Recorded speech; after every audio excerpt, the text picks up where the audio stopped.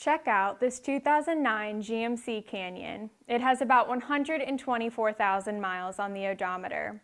There is cruise control, power steering, and power windows. The cruise control is going to be very useful for easy highway control. There is XM available radio and AM FM radio as well. OnStar is also available as your emergency communication system. A backup camera, traction control, and ABS brakes are available for added safety. You'll also want to take note of the four-wheel drive, running boards along the side, and tow package in the back. Come on down and try this vehicle out with our free 48-hour test drive. This Canyon has gone through our 172-point inspection and is ready to hit the road.